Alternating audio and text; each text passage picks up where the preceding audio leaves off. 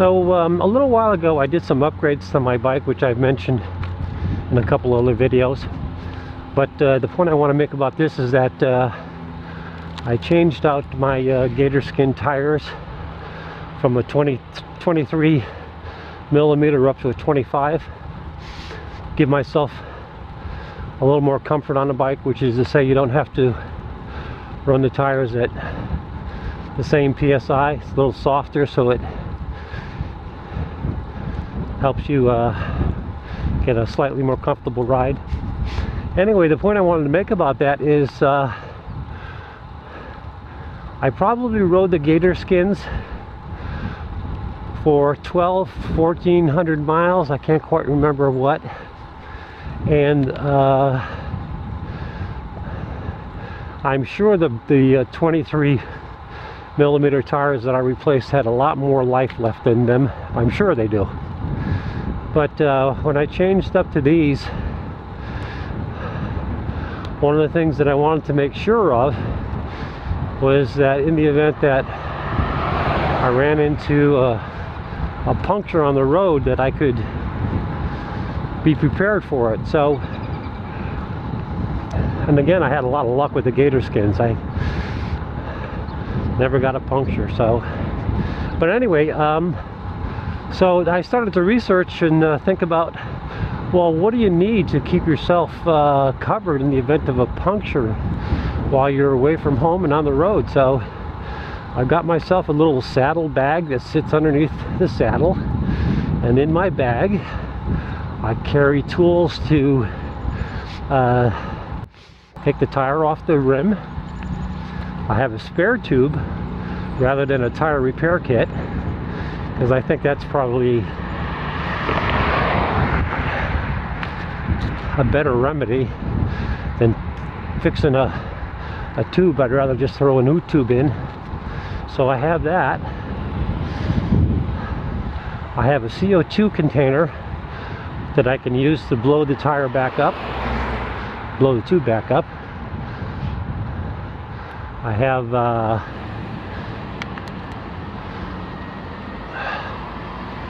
I have a couple uh, shop cloths used so I can have something to wipe my hands with I have a couple latex gloves to wear in the event that I want to make sure uh, I don't get my hands greasy and all that sort of thing. So anyway, I've got a kit that has all these road repair items in place and I was surprised how much I could fit inside my little saddlebag. I also have a um, an Allen key set in the saddlebag to make uh, quick repairs to tighten up anything that needs tightening up. So I feel much more comfortable about getting on the road and going greater distances and in the event that something happens in the way of a flat tire I'm ready to make repairs on the road and get myself going again. Yeah the reason I mentioned that toolkit thing is you know I think everyone should uh, consider that kind of thing. Uh, I've been very fortunate of not having any mechanical issues while I've been on the road other than uh, getting my chain my chain jumping off the chain ring and shifting up to a from my from my small to a larger chain ring once or twice. But uh, that was an issue of not having the uh, the adjustments done correctly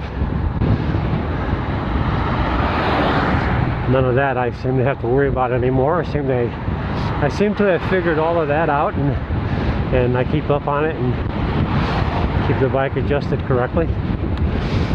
But uh, yeah that would be a real bummer to be uh, a distance from house and have uh, be a distance from home rather and end up with a flat tire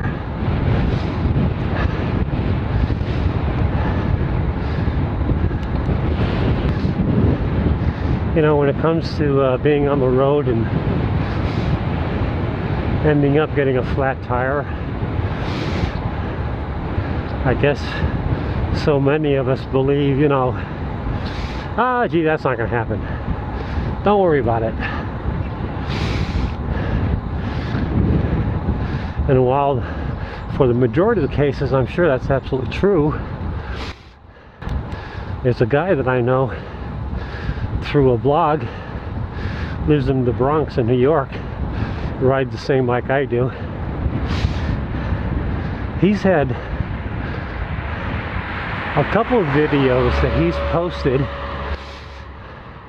where he has stopped two or three people. I'm sorry, he's stopped to help two or three people who have had flats while riding in and around the city.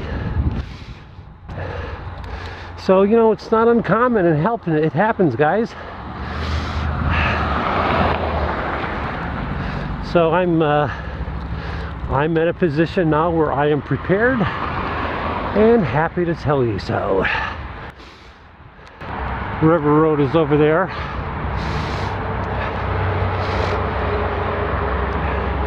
I'm gonna ask this guy if there's trout.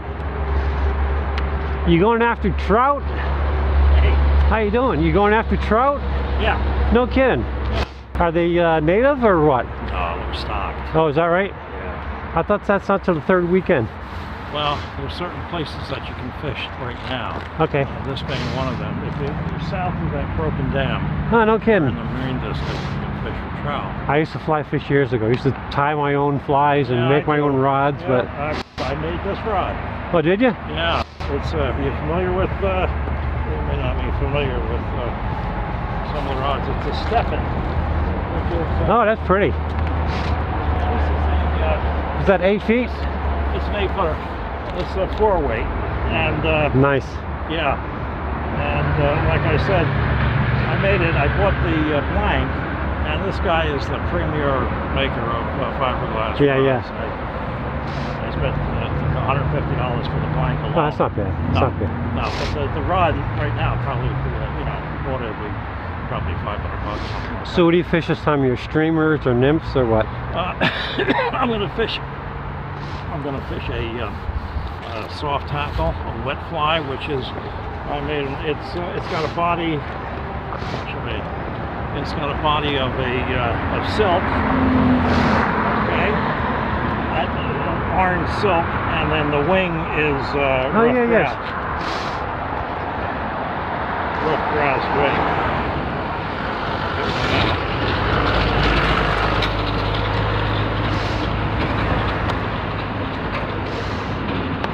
That's it. It's got, like I said, it's got a uh, orange silk body. This is from a rough grouse that a friend of mine shot. Yeah, yeah, yeah. And then this little thing here is mole uh, dubbing. Mole I killed I, I rode over from Guilford Uh-huh. and I stopped just before I got in Madison to take a couple drinks of water and I'm standing there. There's little black flies all around me. Oh, it's a good sign. Yeah, I know, I know. I know. It's starting to emerge, starting to come They're out. starting to Come out. Yeah. Well, they there's they uh, those little black things. They come out all winter long. Oh, is that right? They. Yeah. yeah. Well, good luck to you. It's a Well, good day to thank be out there. It is. It is. I had to I had to bring my lopper is because I can't. I want to go on the other side, and the uh, the thorns are so heavily grown. I had to I had to cut a path right into the wall. Oh. well, that's that's uh, hardcore. You know, you got to fight your way in. I used to uh, I used to go up to Maine twice a year, Memorial Day and Labor Day. I used to go up to a place called uh, Rangeley Lake, Goose Oh, Buck yeah, Mountain. oh, yeah. I used to fly. I used to fly fish, catch and release, barbless hooks, landlocked salmon. Oh my Yeah, I went up to Millinocket about three years ago, and uh, that's all I caught was landlocked salmon. I didn't get any trout, so I fished for three days. and I think I got 15 landlocked. Wow! Wow! really nice. That's great. That's Yeah. great. I'll never forget the first time I, I caught a landlocked salmon. Uh, was in New Hampshire, Uh-huh. in the outflow from Newfound Lake, if you all know right. that is. Yeah, yeah. Yeah. And uh, I was fishing for trout, and all of a sudden I got this fish. It was probably about 14 inches or so. And he jumped out of the water. He was four feet. He was eye level. Yeah. I said, that's no trout. I never saw a trout. I never They're saw great. a trout jump four feet out of the water. They're great. They're strong too. Yeah. Well, listen. Good luck to you again. You too. Take All right. Take care.